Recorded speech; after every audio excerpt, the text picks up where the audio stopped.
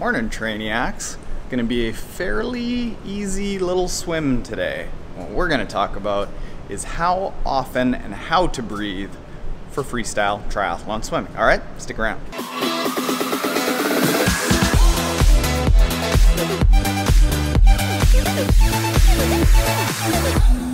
All right, so one of the biggest issues that new triathletes have when they start swimming is the feeling of breath in the water.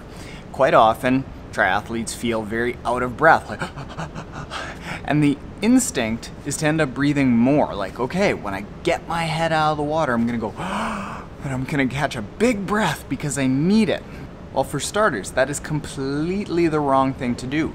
The reason that you feel out of breath is because you have carbon dioxide built up in your lungs. So you actually feel out of breath because you don't have enough oxygen because you are taking on too much oxygen.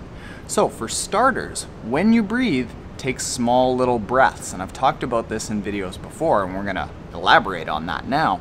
But when you're breathing, you wanna take a breath that's just like just a small little gulp, a little tiny little thing. If you're going, or if you're lifting your head and it feels like your legs are sinking, odds are really good that you're taking too big of a breath. Now, next thing, the question becomes, all right, well then how often should you take a breath? And quite typically, the answer is you need to bilateral breathe. And bilateral breathing is associated with breathing typically on both sides of your body every three strokes. So it's one, two, three, breathe. One, two, three, breathe. And I am a huge proponent of breathing on both sides of your body, but not doing it regularly. Let me explain. I think the triathletes have to be able to breathe on both sides of their body, but they shouldn't breathe on both sides of their body in that typical bilateral breathing pattern.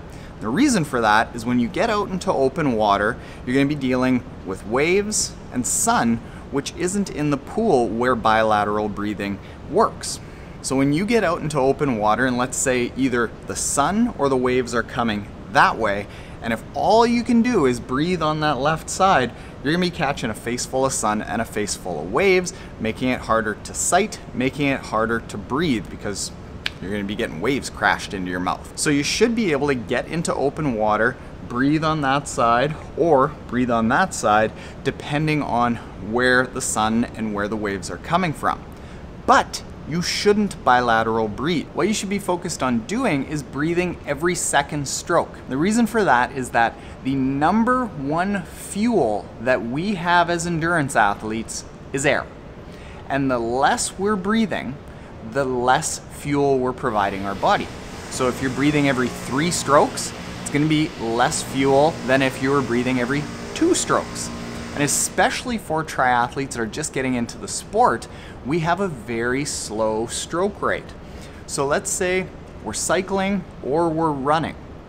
Our typical breathing pattern is going to be about 60 breaths every minute if we are swimming and we're swimming at 60 arm strokes a minute, which is actually fairly fast for a lot of new triathletes, but we're only breathing every three strokes, you do the math and you're only breathing 20 times every minute.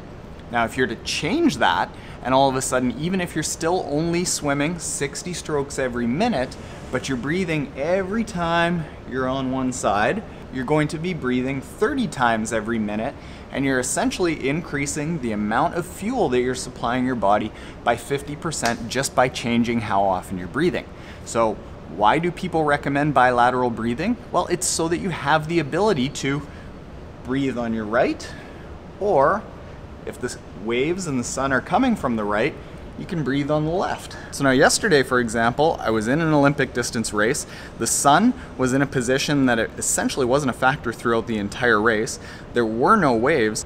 I ended up breathing the entire time, every two strokes on my right side. Why? Because I had a lot of oxygen breathing every second stroke, and I find that I have an easier time sighting and swimming in a straight line on my right side. However, in the week before, it was the exact opposite. I needed to switch from left to right, so I would take maybe 20 strokes breathing on my right, and then I would take 20 strokes breathing on my left as I would turn around buoys. That's effective bilateral breathing. That is having the ability to breathe on both sides, but not actually doing it. So remember, take very, very small, shallow breaths. Take them every second stroke. When your face is in the water, the entire time that your face is in the water, breathe out forcefully through your mouth. And the way that you can practice this is swim down the pool, breathing on the left, swim back, breathing on the right. And that is going to develop a very balanced stroke.